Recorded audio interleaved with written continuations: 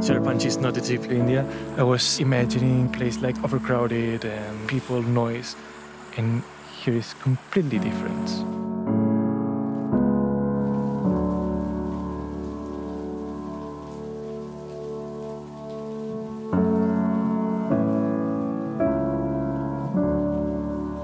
all that mist, all that fog.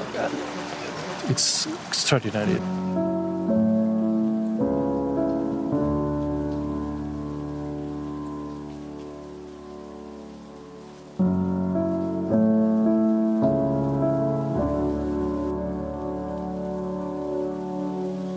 Think they, they have a strong sense of community.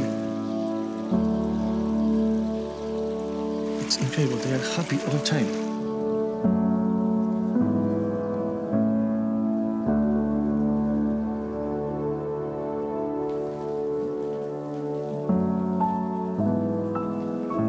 you can find calm, beauty.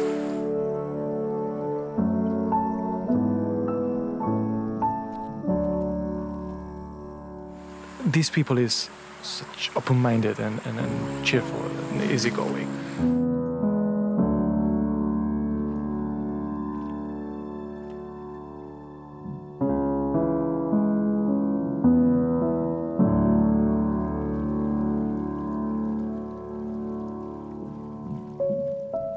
when the day is clear, I think that I know why people from Cherrapunji wants to live here.